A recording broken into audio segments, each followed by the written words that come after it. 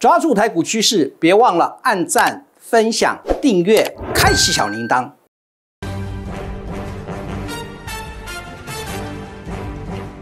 各位投资朋友，大家好，我是轮源投顾杨天迪。今天是七月二十八号，礼拜四啊，四号开高走低。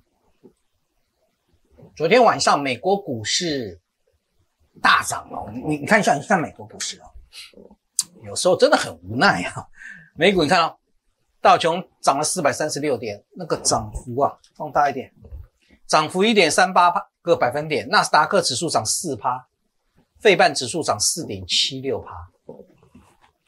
昨天出现什么状况？昨天 FED 升息三码啊，这是大家预预估到的，而且鲍尔在记者会当中啊，也没有也没有变成鸽派啊，就是还是基本上还蛮阴的了啊。他说九月份还要升息，那升息的幅度要看经济数据的这个状况啊的这个，换句话说，基本上他没有转为鸽派啊，他还是鹰派。但严格说起来，美国股市怎么反应？你从道琼就很清楚了哈。本来平平平平，突然你宣布之后，你记得会开完之后大涨。那科技股更厉害了，科技股本来就很厉害，这是纳斯达克指数啊。后面急拉嘛，出现急拉啊，费半一样啊。换句话说，昨天晚上本来这个升息三码之后，科技股的表现就比道琼来的好。你记者会开完之后，它更往上拉，那说明什么事情呢？利空出尽嘛。也就是说，FED 在七月份的升息三码之后，市场普遍预估，因为你的经济在下滑，所以九月份的升息。应该两码，甚至可能在两码以下。好，相对来讲，升息的利空因素对于美国投资人而言，已经没有放在眼里了。所以，美国股市基本上是以利空出尽来反映 FED 升息三码。那而且看它那个走势，非常有可能要展开一波这个这一波上来，可能是一个终极反弹的一个开始了。纳斯达克纳斯达克指数也是这样。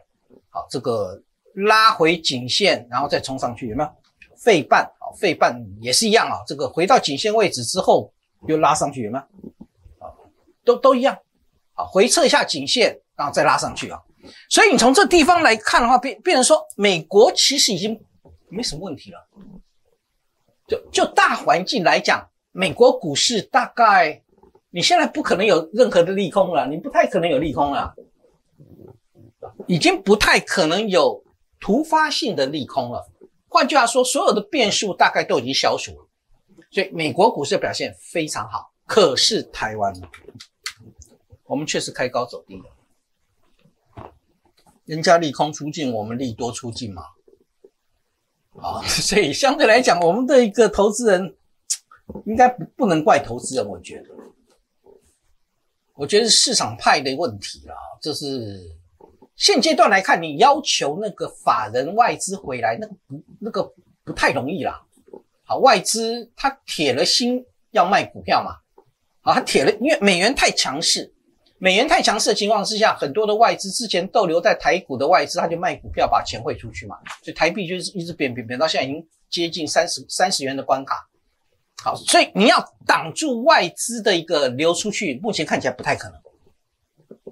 那就看内资要不要回来啊？那目前内资不回来，好，大内高手是不回来的。那我怎么判断大内高手有没有回来？我有跟各位分享过该一个观念了哈。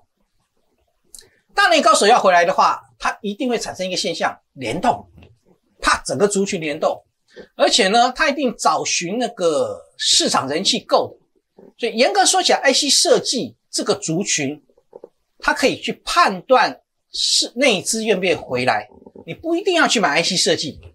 对，其实 IC 设计要下手也很困难，你也不知道要买哪一个、哪一个、哪一哪一档个股。但是 IC 设计可以观察市场派要要不要回来。好，所以以今天 IC 设计来看，还是弱弱的。大盘没有跌多少，那很多 IC 设计都重挫。那么也就说明一件事情，目前来看，这个。内资没有回来，好，如果内资没有回来，那台股现在在干嘛？我曾经跟各位谈过，一般的中期反弹会分两个阶段，第一个阶段叫嘎空头，好，嘎完空头之后会进行一个三到五天的休整，目前还在三到五天，我们还在这边休整呢。然后呢，第二阶段才往上走。那第二阶段嘎空手的部分，这个地方就不能单靠嘴炮了，也就是说，你国安基金去喊话，造成第一波的空头的回补嘛，空头空头的回补。但是你后面第二波要往上攻，你必须要拿出银弹出来啊！你要往上砸，它才可能把整个盘面带上去嘛。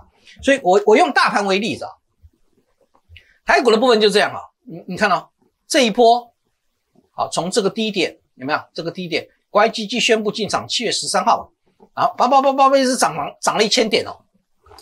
涨了一千点上来之后，哎，第一阶段涨完了。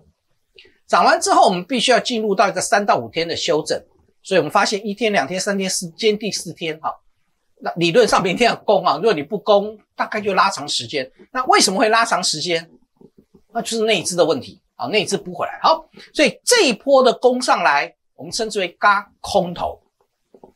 好，那现在进入一个三到五天的休整，休整完之后，如果内资进来嘎空手，那个地方是要放量。所以你可以看那个我们的成交量都不大，哎，不大有两种，好吧？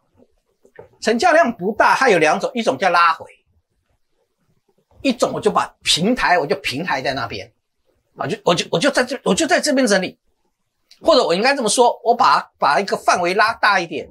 现在目目前这条线是月线，我在月线跟季线之间我进行修整，是可以的，它不一定要回来啊。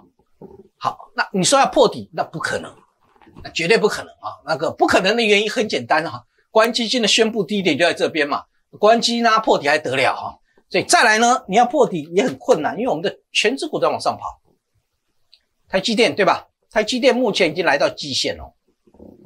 好，台积电目前的股价已经来到季线，虽然尾盘呐被哪一个莫名其妙的人把它杀下来啊，我在想应该是外资了哈。你你本来涨得好好的，突然给你急杀，哦，这个外资外资外资信王外资的可能性最大。但不管如何了哈，台积电目前的股价它相对大盘是强势的。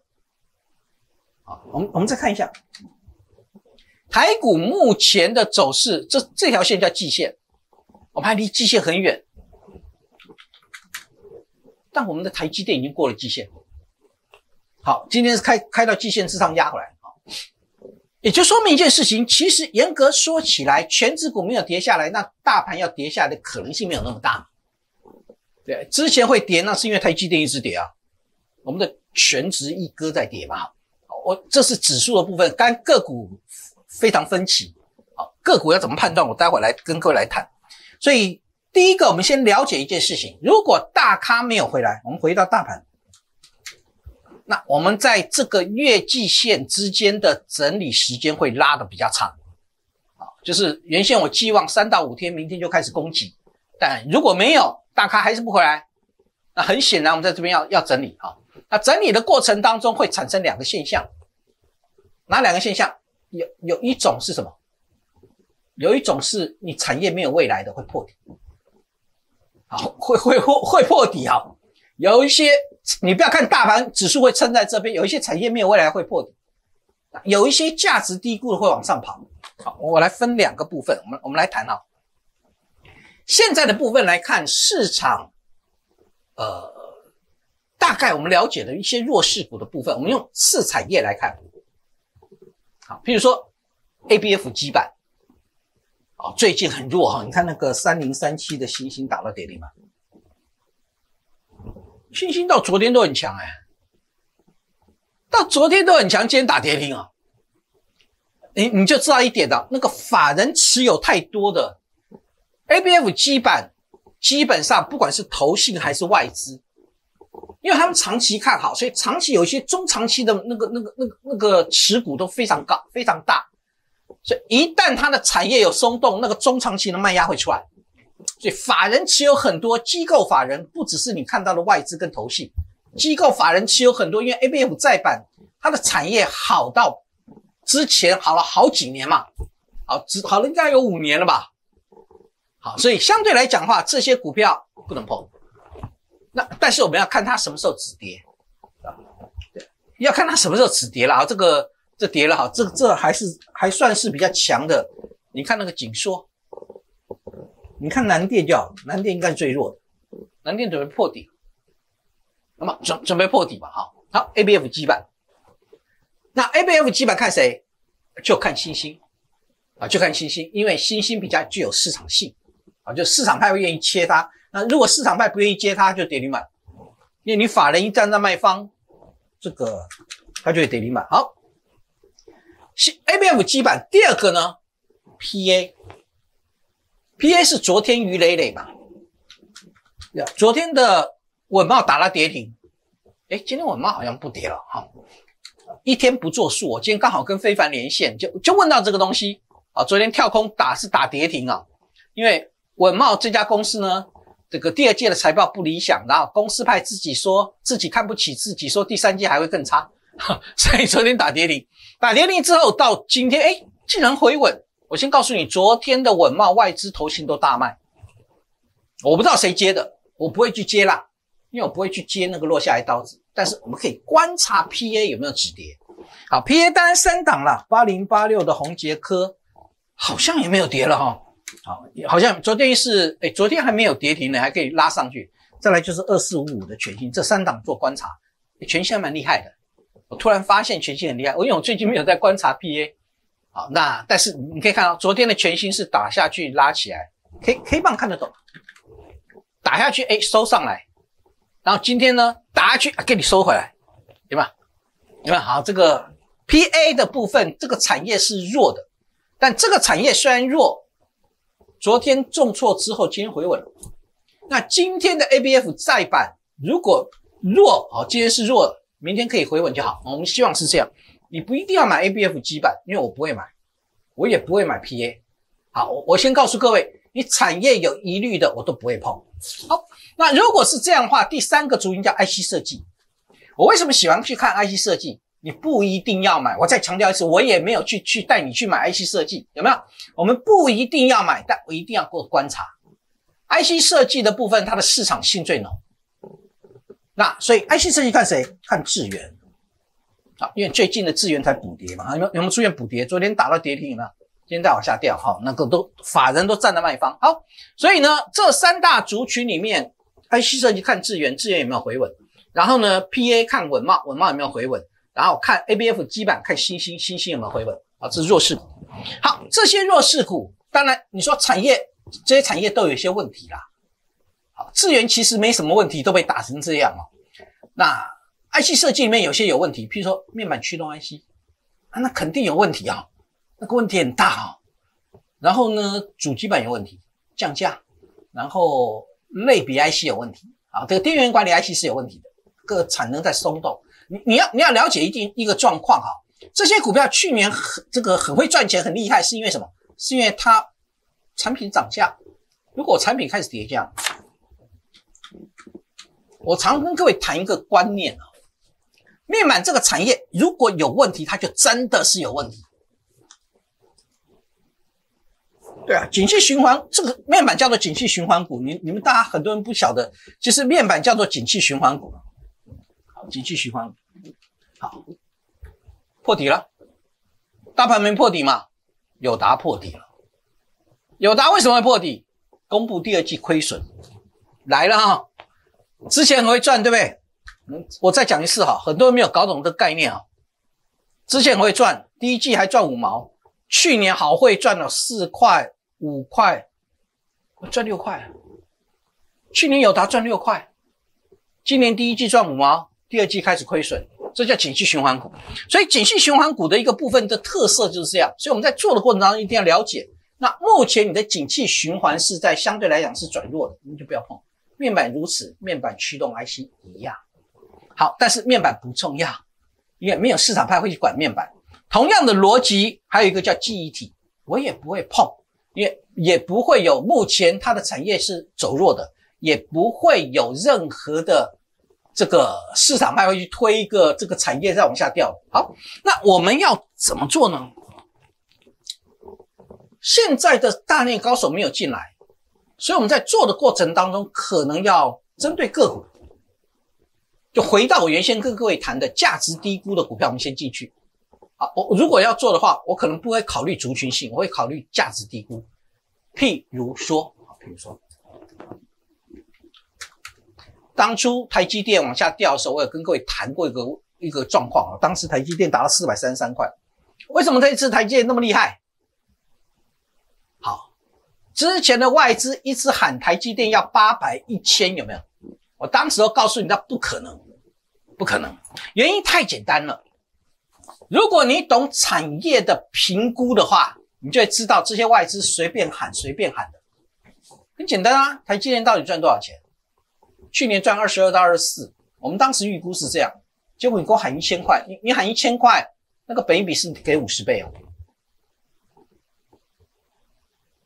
给五十倍只有 IC 设计哦，给五五十倍不会不会是晶圆代工。好，我们现在了解这状况。好，现在股价跌下来，跌到四百三十三块，跌到这边。今年台积电要赚多少钱？三十二。那还会往下跌吗？你去算一算，它十五倍本一比，之前愿意给你五十倍本一比，现在你愿不愿意给它十五倍本一比？如果我给我给台积电十五倍本一比，它如果今年是赚三十二块，那个叫四百八十块。这个观念我不止在我的节目当中跟各位分享，我跟非凡连线的时候也分享了这个观念。当时的股价还没有上来，我当时就谈到这个观念。同样的逻辑拉回来，这叫价值低估嘛？所以，我们我们带会员在做的过程当中，开始往大价值低估的股票走啊。比如说，我买的买的广基，我五十块买的广基，好，现在已经来六七哈，我六七块已经获利下车了啊。今天创新高之后又压回来，我五十块买的广基在这个位置，为什么买它？接单接到年底，今年会赚六块钱，五十块去买。本益比大概是八点三倍，好，那工业电脑的合理本益比区间在八到十二倍，我买八点三倍是不是合理？所以五十块买赚了三十四趴，六七块获利下车。好，同样的拉回来，我后来跑去买什么？国巨，我买了这一天，建号这一天，好，我买了这一天的国巨，我最低买三零二，最高买三一二，那今天国巨最高已经来到三百四十七号。好，那为什么买国巨？一样逻辑啊，一样逻辑，我逻辑讲给你听。国巨今年要赚四十二块，然后呢，我买在三零二的本益比是七点二倍，被动元件的合理本益比区间叫八到十二倍，所以我是买价值超跌。我只要买在三百三十六以下，都叫做价值超跌。好，今天收盘三百四十块，它才刚回到八倍本益比。好，所以同样的，从这个三百零二涨到今天三百四十七。我赚了四十五块，好，大概十五趴，好，大概十五趴。再来呢，我买了什么？三七一的日月光，好，目前跟各位谈的除了广基有获利下车之外，国巨、日月光我都还在。月光买的七十五，今天最高来到八十七点八，我买的这一天，国安基金宣布进场这一天，我买了七十五。那为什么买日月光？日月光今年要赚十二块。今年的日月光要赚十二块，我买在七十五块，买在本一比是六点三倍，封测的合理本一比区间要六到十倍，我是不是买在下缘啊。到今天来到八十七点八，我已经赚了十二块，我已经赚十二块，然后呢，我赚了十七八。好，最近买的啊，最近买的叫做一五一三的中心店啊，我买在五十三，我是这一天买的，礼拜礼拜二买的哈。除完息之后的隔一天，我买这一天买了五十三。好，那买中心店，因为我预估中心店今年赚五块钱，所以我买在五十三，我买在本一比十点六倍，我觉得还可以。然后呢，对，到今天来到最高来到五十七块半。好，你们你们最高来五十七块半嘛？最高在这边五十七块半，所以我大概赚了八趴左右。好，那目前都还持有。我除了广基获利下车之外，刚刚谈到的国巨、日月光、中心店。我目前还持有，所以这叫做价值低估的选股法则。价值低估的选股法则，如果大内高手不进来，很可能台股目前在一万五千点这边会稍微震荡，而且时间会拉长。那我先从我先不从族群性去着手，我先从什么？你个股本身的利基点着手。所以价值低估的股票，我的原则很简单，我买在合理本一比区间的下缘，甚至在超跌的位置，那我的安全度就够高。好像这种股票有很多，有一些还没有正式发动，有一些还在沉积，但正正是因为他们在沉积还没有发动，所以股价还没有大涨上来。没有大涨上来，如果它是珍珠，就一定会发光。啊，这是我的想法。所以呢，价值低估是我目前选股的逻辑。从价值超跌的角色上面去找机会，那我想我的口袋名单有很多，有了机会我会带你进场。谢谢收看，明天同一时间再见，拜拜。